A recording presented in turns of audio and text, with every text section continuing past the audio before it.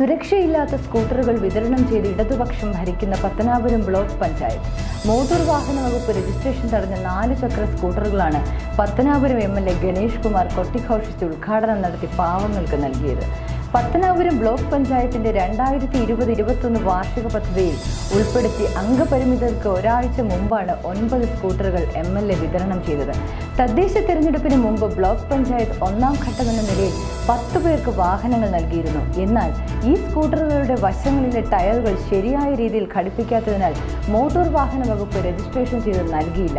ഇതിന്റെ അടിസ്ഥാനത്തിൽ ബാക്കിയുള്ള ഒൻപത് വാഹനങ്ങളുടെ വിതരണം നിർത്തിവെച്ചിരുന്നു. സ്കൂട്ടർ വിതരണ കമ്പനി നേരിട്ടെത്തി അപാകത പരിഹരിക്കാമെന്ന് അധികൃതരെ അറിയിക്കുകയും ചെയ്തിരുന്നു. എന്നാൽ അപാകതയുള്ള മുച്ചക്ര വാഹനങ്ങൾ K B Ganesh Kumar M L A മുൻകൈയെടുത്ത് വീണ്ടും വിതരണം ചെയ്യുകയായിരുന്നു. അംഗപരിമിതർ ഈ വാഹനങ്ങൾ ഓടിച്ചാൽ സുരക്ഷ കുറവാണെന്ന് ചൂണ്ടിക്കാട്ടി മോട്ടോർ വാഹന വകുപ്പ് റിജക്ട് ഓർഡർ പ്രസിദ്ധീകരിച്ച വാഹനങ്ങളാണ് എം എൽ എ അംഗപരിമിതർക്ക് നൽകി പറ്റിച്ചത്.